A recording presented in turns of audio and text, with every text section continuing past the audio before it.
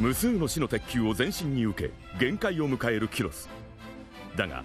ドフラミンゴから受けた国民たちの苦痛と悲しみを思い彼の怒りが頂点に達した時